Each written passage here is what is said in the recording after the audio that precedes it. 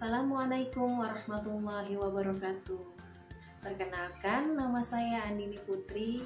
Saya adalah orang tua dari murid English Bimba yang bernama Aidan Mahadisya Hafiz. Aidan bergabung di English Bimba sejak umurnya 5 tahun, kurang lebih selama satu tahun ini. Dikarenakan pandemi virus corona belum berakhir, maka kegiatan proses belajar mengajar English Bimba harus dilakukan secara distance learning. Namun begitu, saya sebagai orang tua dari Aidan tidak merasa khawatir sebab proses kegiatan belajar tetap berjalan dengan sangat baik dengan fun dan semangat tentunya.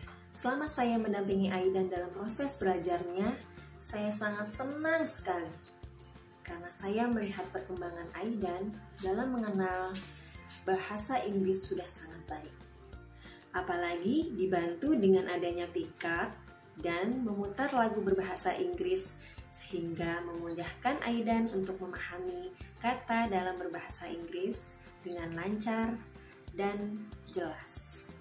Sehingga Aidan bisa berinteraksi dengan motivator dan teman-temannya dengan baik.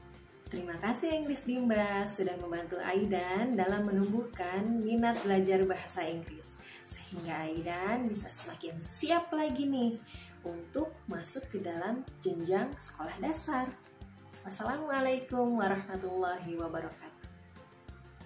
Today, I want to tell you about pet. Let's learn together. What is this? This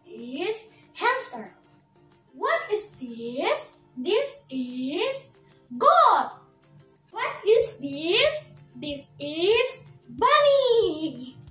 What is this? This is chicken.